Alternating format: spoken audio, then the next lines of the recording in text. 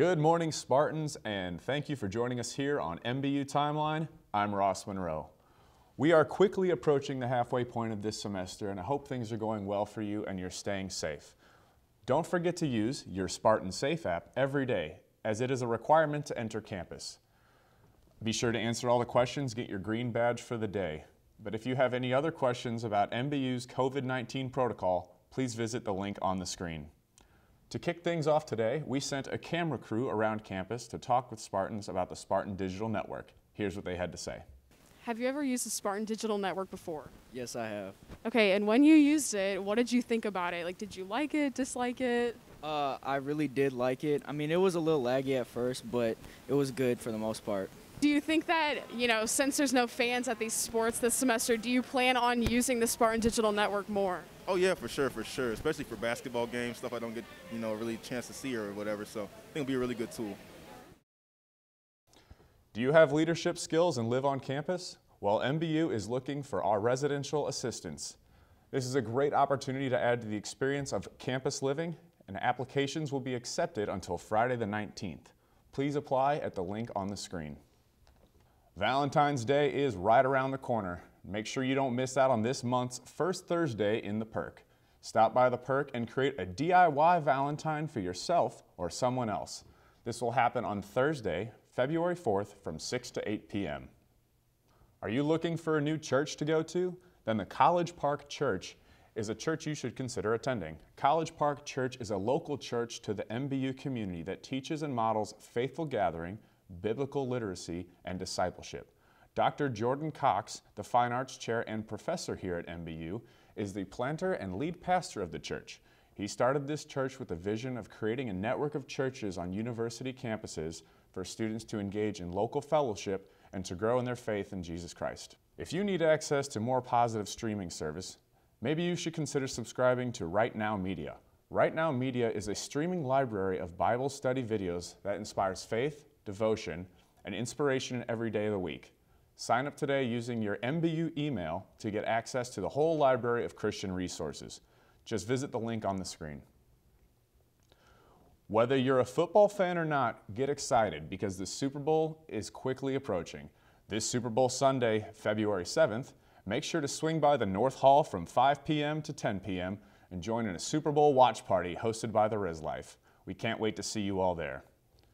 With the return of a new semester comes the return of sports. We had the privilege to sit down with Coach Ingram, the head coach of the men's basketball team, to see how they have been adjusting to the new normal and the importance of continuing athletics during a pandemic.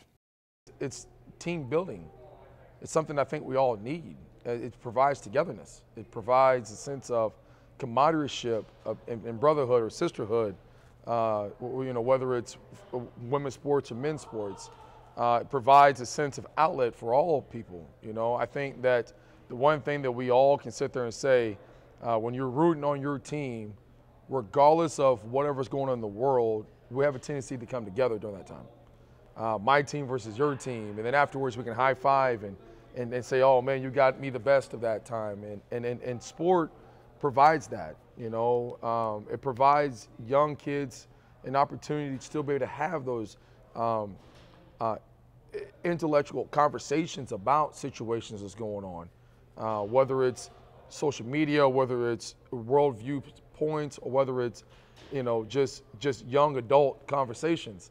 Uh, sport provides an opportunity for an outlet for that, and I think right now it's so pivotal that we have an outlet that we can see some sort of success. And now, here's sports.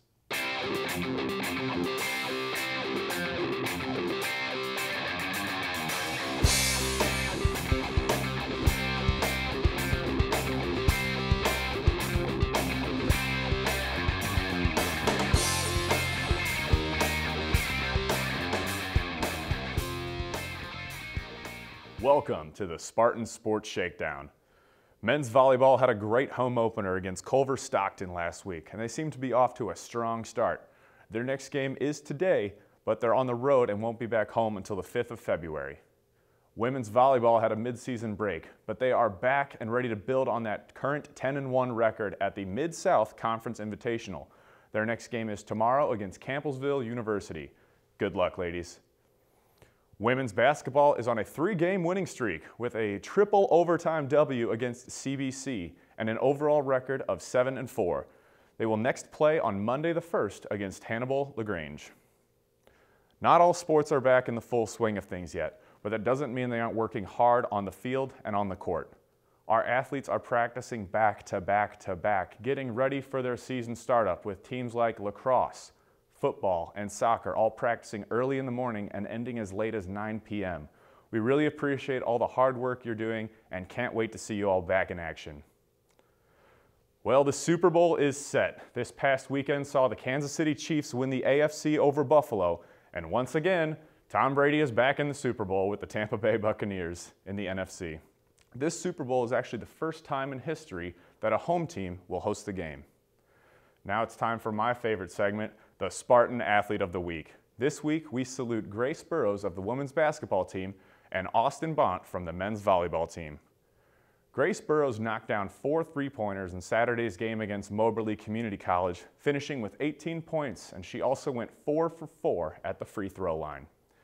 In his first match wearing the Spartan colors, Austin Bont led the volleyball team with 18 kills in what would be a straight set win over Culver Stockton.